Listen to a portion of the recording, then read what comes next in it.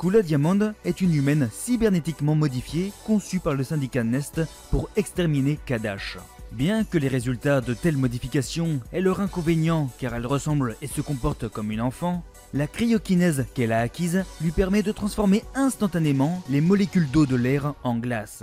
Nest a également chargé deux de leurs meilleurs agents, Diana et Foxy, de superviser et d'empêcher toutes sortes de trahisons de la part de Kula.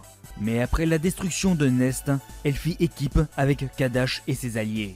Cependant, tout cela s'est défait après une bagarre avec Kadash, qui s'est ensuite enfui du groupe.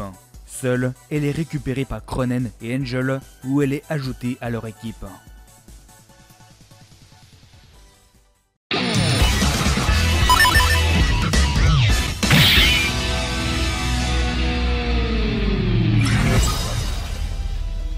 Foxy est membre du cartel Nest depuis le début. Elle a été rapidement promue en tant qu'officier supérieur par le président, grâce à sa grande habileté à manier l'épée ainsi que son infaillible loyauté envers le cartel. Dès leur présentation, le courant passa entre Foxy et Diana et devinrent de véritables amis. Toutes deux furent assignées au projet de clone Kusanagi après que le Nest ait capturé Kyo Kusanagi, épuisé après son combat contre Orochi. Mais Foxy fut chargée d'une mission différente. Elle devait superviser la création d'une nouvelle arme biologique qui utiliserait l'ADN de Kyo. Mais au lieu de créer les flammes Kusanagi, elle serait capable d'utiliser le pouvoir de la glace. Réputée pour son côté strict mais diplomate, Foxy forma son équipe pour ce projet ambitieux. Le résultat fut une femme combattante, ayant les traits d'une adolescente. Plus que sa création, Foxy voyait dans ce nouvel agent, nommé Kula Diamond, une petite sœur, voire une fille.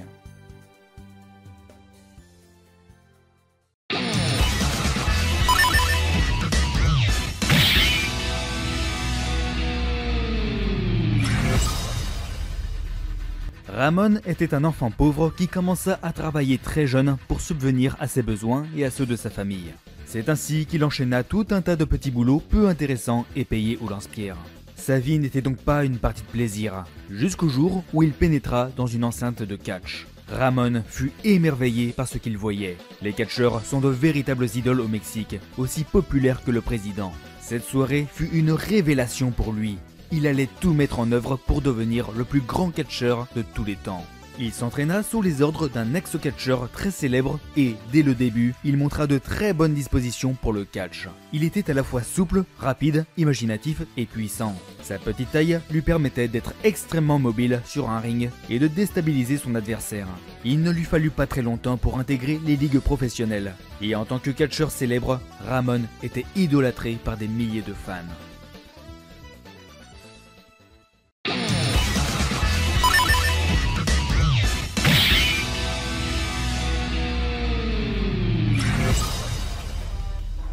Lin appartient au mystérieux et redouté clan ninja Izoku. Ce clan vit reclus depuis des années dans les montagnes chinoises et est craint à la fois pour ses qualités exceptionnelles de voleur, combattant et tueur et pour le poison qui coule dans les veines de ces derniers. En effet, le poison peut hanter l'ennemi contaminé même après la mort du ninja Izoku qui lui a infligé ce maléfice. Cependant, ce poison est néfaste pour la santé de Lin mais celui-ci considère que c'est indispensable pour devenir plus fort et pour faire honneur à son clan. Durant la majeure partie de sa vie, Lin s'est entraîné seul, sans le moindre contact avec la société moderne, et, aussi loin qu'il se souvienne, il n'a vécu que pour obéir aux ordres et éliminer ceux qui représentent une menace pour son clan. Ses capacités au combat sont supérieures à celles de n'importe quel autre ninja Izoku. Son incroyable vitesse ses mains aussi aiguisées qu'une lame et sa redoutable discrétion en font un combattant hors pair.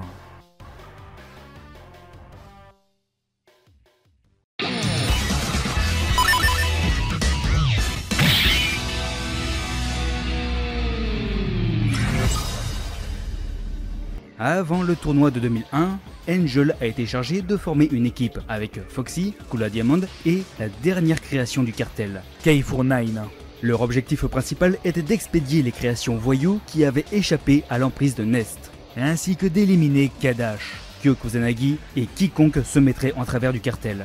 Elle a semblé aimer travailler avec K49, car ils semblent avoir les mêmes intérêts à cœur. Quelque temps après la conclusion du tournoi, Lorsque Kadash, Maxima, Whip et Lin atteignaient Ignis via un dirigeable, K49 et Angel ont attaqué Foxy par derrière, la blessant mortellement. Lorsque la base Nest s'est écrasée dans l'océan, il est sous-entendu qu'Angel est resté pour essayer de détruire définitivement la base de Nest, tandis que K49 est parti sur l'un des hélicoptères des Ikari Warriors.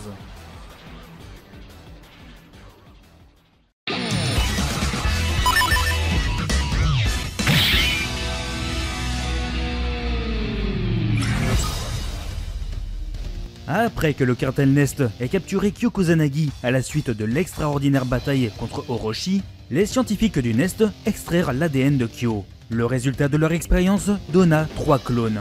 Le premier est prénommé Kadash, un jeune homme solitaire qui a fui le Nest dans le but de trouver des réponses sur son existence et son passé. Le deuxième est Kula Diamond, une adolescente dont le code génétique lui permet de créer de la glace dans les mêmes conditions que Kadash créait du feu. Le troisième, Chrysalide, est mort en phase terminale du projet. Mais le cartel Nest n'en avait pas assez. Toutes ces expériences avaient été réalisées sur des humains. Mais qu'adviendrait-il si Nest créait son propre clone, génétiquement modifié, en partant de zéro? Et ceci fut les prémices de la création de K49. Imaginé comme le clone ultime de Kyokusanagi, Nest utilisa ses technologies les plus avancées pour créer un jeune homme d'apparence frêle, mais qui représentait l'évolution du pouvoir Kusanagi.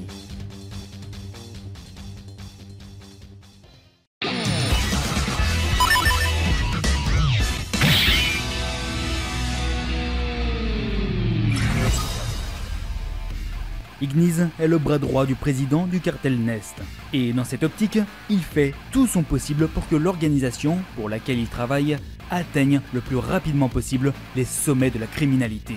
Et lui et les autres membres Nest réussirent plutôt bien dans cette entreprise, puisque le cartel fut craint dans le monde entier grâce notamment à sa technologie avancée de clonage. Toujours accompagné par sa secrétaire Misty, Ignis a toujours été loyal envers Nest.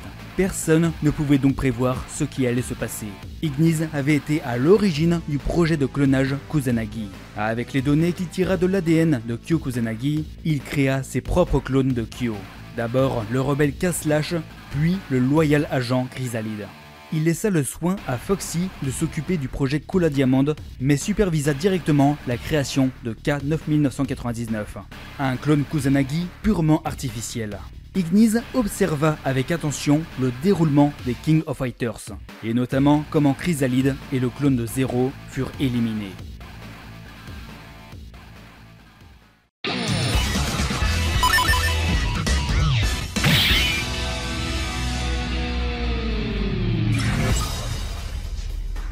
Evie a dédié tout son temps à la boxe depuis qu'il est enfant, en vue de devenir un grand boxeur professionnel. Malheureusement pour lui, aucune grosse ligue ne lui accorda véritablement sa chance. Frustré, il enchaîna alors les combats privés et les combats de rue. Le King of Fighters représenta alors pour lui la meilleure opportunité pour se mesurer à des combattants professionnels ou surdoués. Il s'est alors associé à ses amis Lucky Glober et Brian Butler pour former l'équipe sportive américaine. Mais ils n'ont pas réussi à se distinguer. Evidi est un homme calme qui sait garder son sang-froid. À l'occasion, il passe boire un verre dans le bar de son ami Doug King.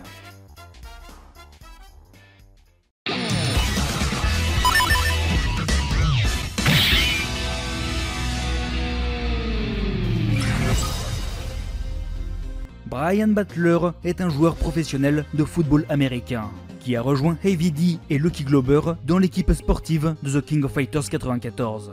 Bien qu'il ait été désigné MVP de l'année, il avait un comportement violent et ne trouvait de plaisir qu'à tacler ses adversaires. Heavy D lui a demandé de combler la place manquante dans l'équipe de trois hommes, ce qu'il a accepté. Et lors de la fin non canonique du tournoi King of Fighters 94, Brian a affirmé qu'il allait retourner jouer au football pour ses fans.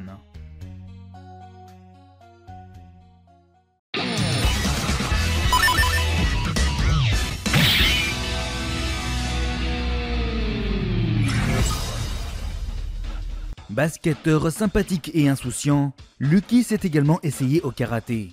Un jour, son ami Heavy D l'a invité au tournoi King of Fighters. Il rejoint alors le tournoi avec Brian Butler et Heavy D pour former la team sportive et tester ses capacités de combat. Même s'ils ont mal joué, Lucky n'est pas du genre à pleurer. Il continue de profiter de la vie loin des arènes de combat. Et contrairement à ses deux coéquipiers impétueux et agressifs, Lucky est toujours vu souriant, même lorsqu'il se bat. Il est très joyeux envers tout le monde et ne rejette jamais un défi difficile. Qu'il s'agisse d'un tournoi de basketball ou d'arts martiaux, il vient juste pour passer un bon moment.